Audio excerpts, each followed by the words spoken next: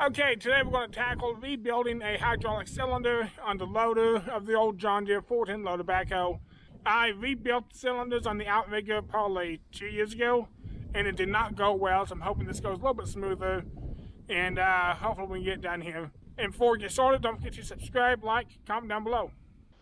See if I can do this without smashing my fingers. That's always my goal for anything I work on.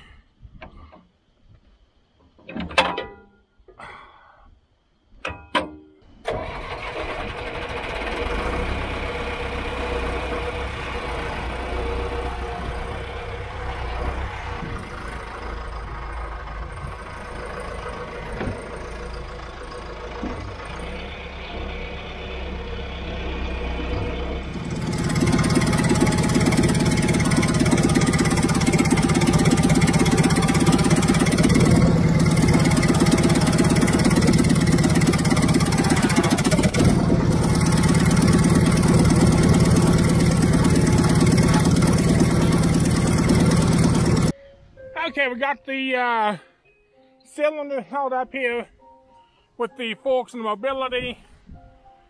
And I went ahead and got a strap tied around here. So I should be able to uh, let it down and it should be secure.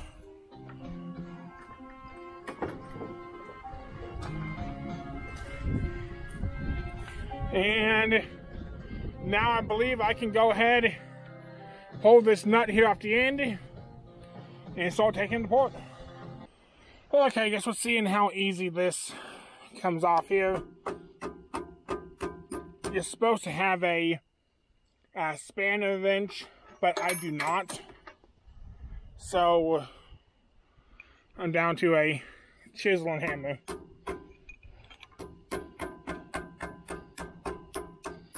Well, it's nice and it's turning. It's better than I thought it might be.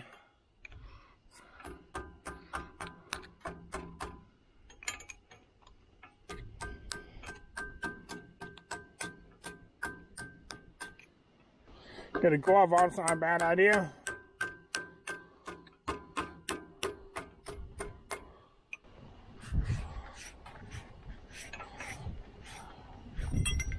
And there it is. Now, if I remember right from my failed experience with the outriggers I rebuilt, I need to pull the shaft back.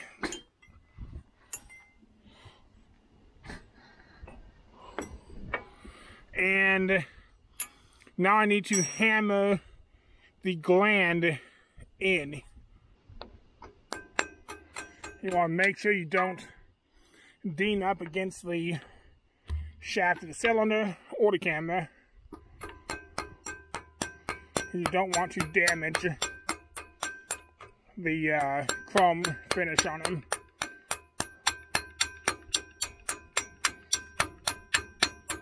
I do know you can get cylinders to be chromed with a shop bound alloy that does it, but I do not know what that cost.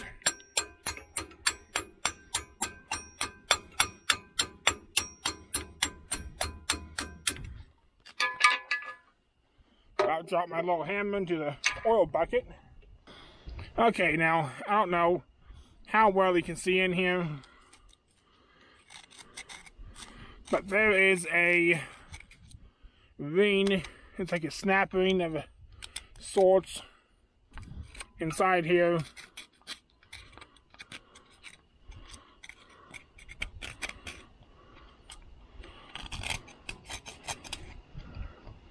I actually made this little pick when I did the last cylinders. You can kind of get right back in there behind that snap ring. And there it is. Man, there's all kinds of gunk in here.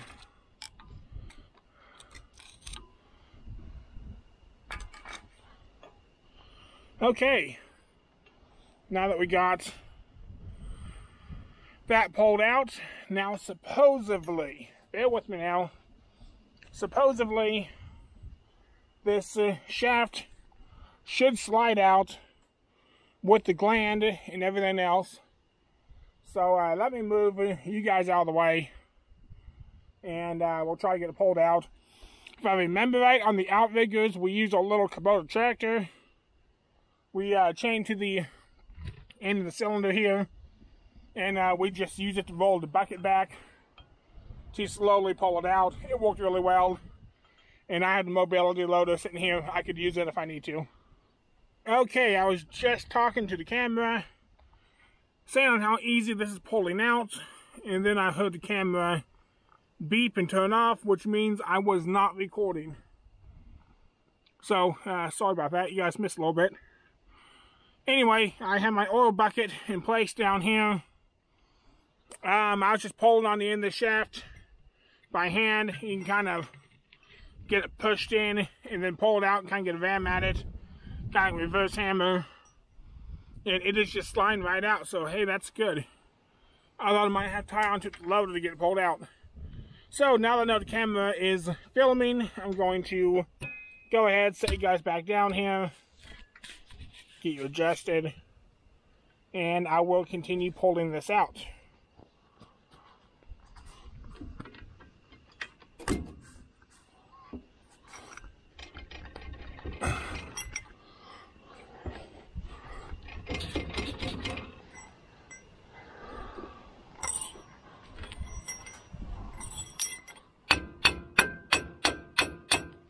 Taps with the hammer.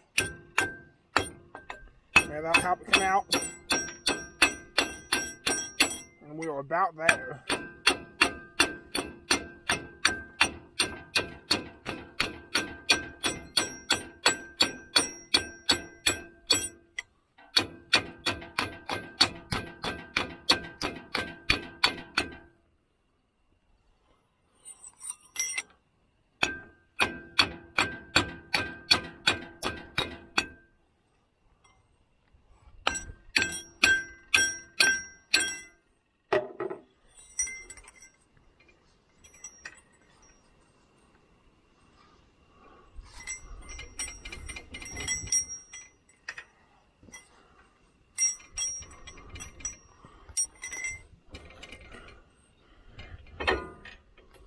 And there it is.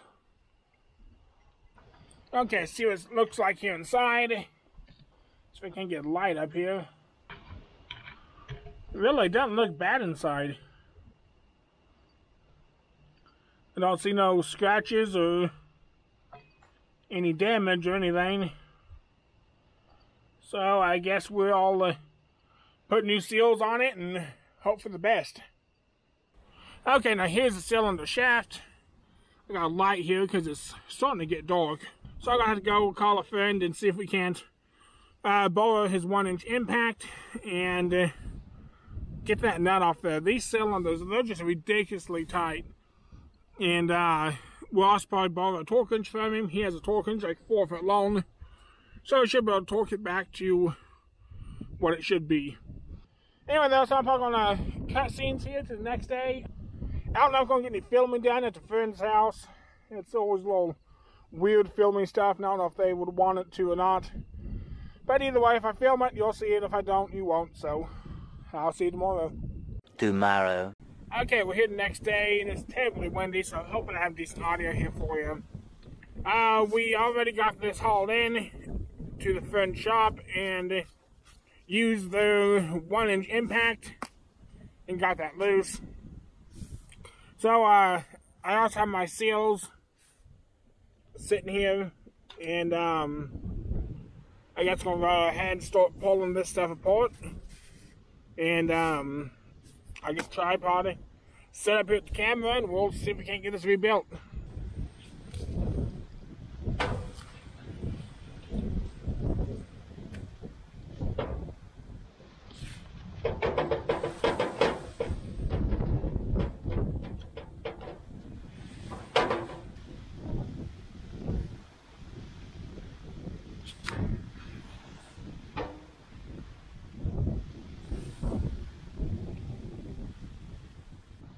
Okay, so I got it pulled apart here. And the snap ring here inside. I'll just get this pulled out. Unless it's stuck.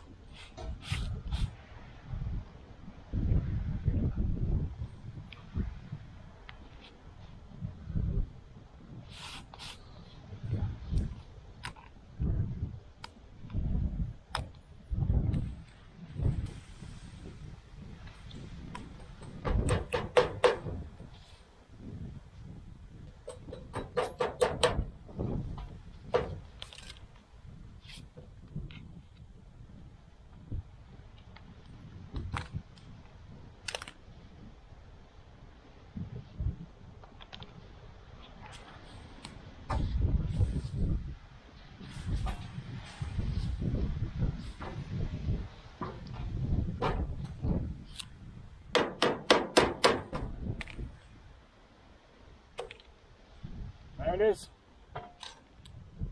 Okay, got this all taken apart, and I was trying to lay out my seals here in the same way they were in the uh, gland here, because I want to make sure I get everything put back together correctly. And uh, I'm going to go ahead and start cleaning all this stuff up. It has a lot of build up grease and gunk here. And so I'm going to go ahead and get all this shined up and we'll get it put back together. Got everything uh, cleaned up here, pretty decent. I just used uh, paper towels, wiped the oil off, and um, used wire brush and stuff like that on these uh, threads, getting cleaned up. These threads always have a lot of uh, grease buildup and some rust and stuff on them. So that's a good idea to get those cleaned out. So I guess I'm to go ahead and start stacking my seals in. Now on these seals here,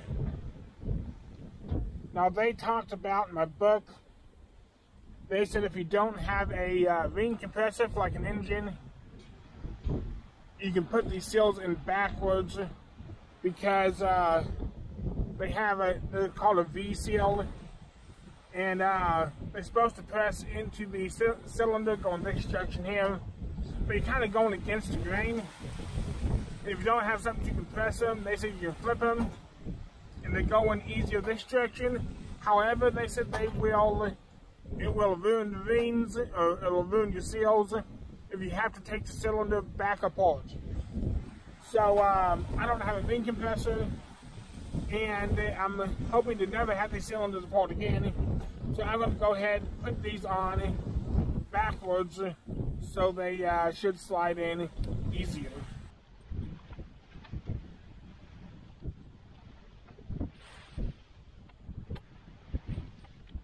And these seals are a little bit tight going on, but that's always a good thing if they're tight.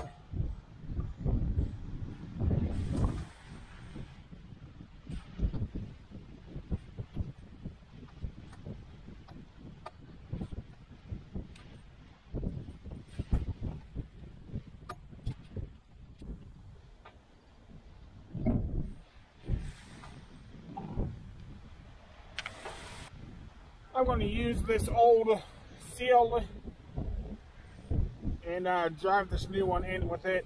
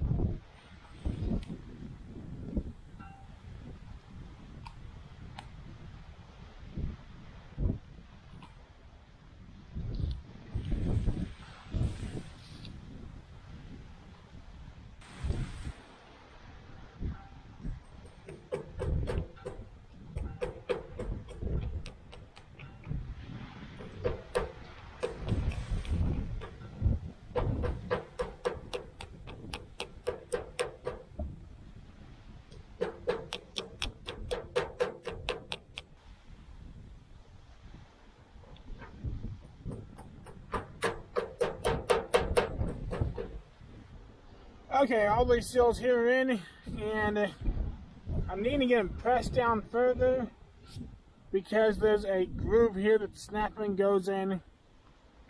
And uh, as you can see, the that one covers the groove up. Um, I did compare the uh, seals, the new seals here to the old ones. They all the same thickness. I just need to get them uh, packed down in there.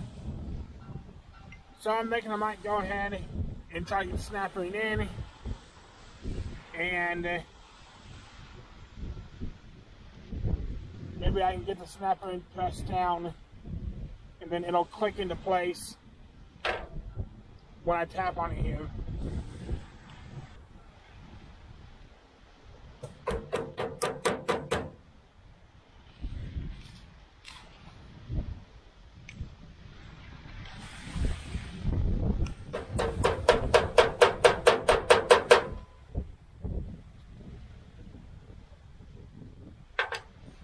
You can see the oh the snap is already starting to go down that groove. So I just need to walk my way around it and uh, get pressed in.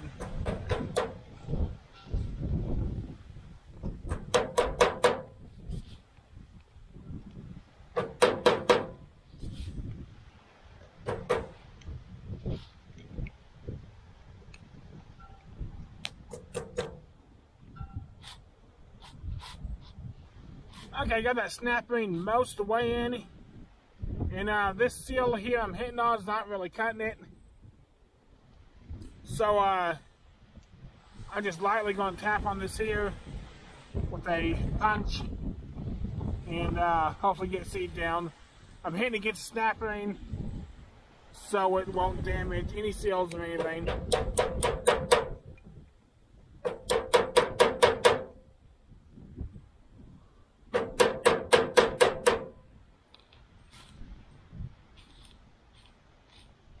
It's so close.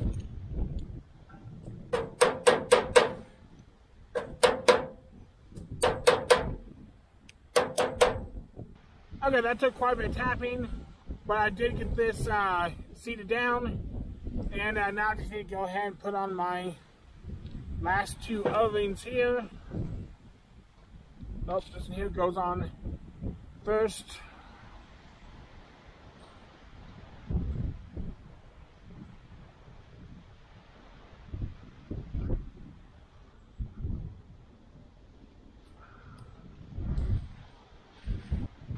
Okay, I believe we are now ready to go back together. So we have the O-ring put into here, and uh, all of the seals are all in place, and think we should be ready to slide it all back together and get the nut tightened back down. Okay, so this is ready to go into the shaft. Uh, you want to make sure you do not forget this uh, here Make sure that goes on first. Uh, so I won't forget, I went ahead and screwed it onto here. And uh, I'm going to go ahead and take some white lithium grease and put it here on the inside of the seals to uh, hopefully make them slide on easier.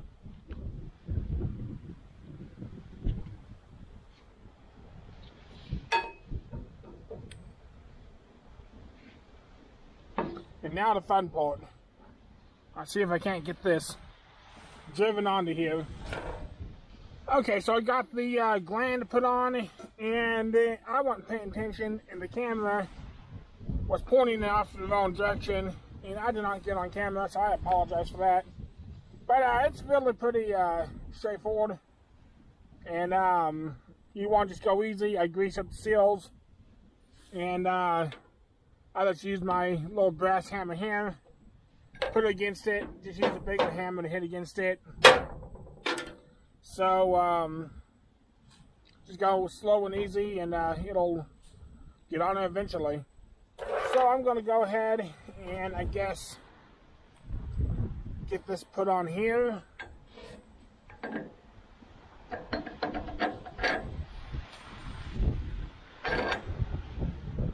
Actually, mean goes on without damaging it.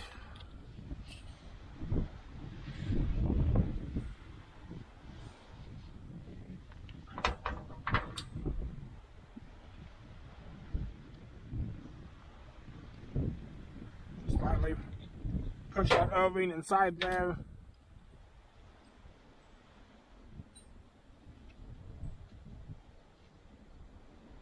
And as I said earlier, I put these seals here on backwards, hoping it's going to slide together easier. I don't know if it will or not, but I hope it does.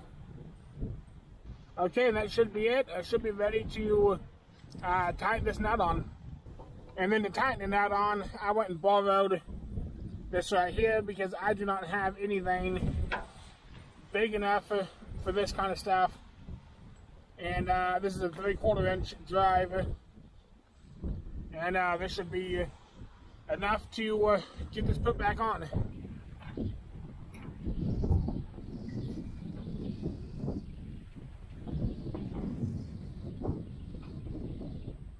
That's gotta be it. Okay, we got the nut tightened down on the end of the shaft. And now we're gonna go ahead and we need to, uh, I don't know if you can see now, too well or not. But uh, where that snap ring or that wire goes to hold everything in, it can cause a uh, wire edge on this outside. And uh, so we're going to get some files with some sandpaper and clean this edge up here so hopefully it doesn't shave off our uh, new seals. So uh, we're going to go and work on that a little bit. We got some rags, some paper towels shoved back in there to keep any uh, dust and everything out of it, so uh, we should be good there.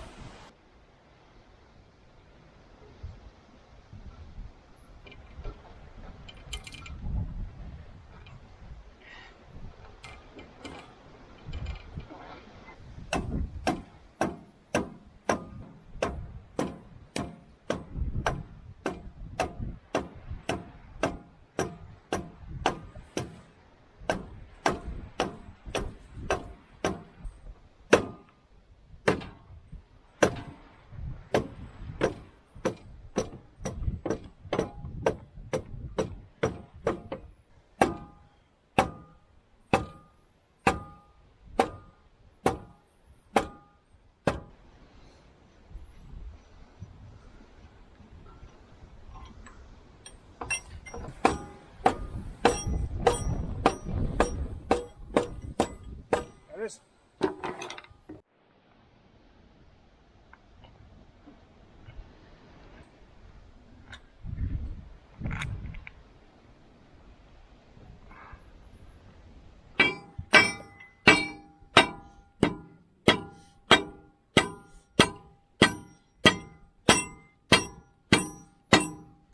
That's it.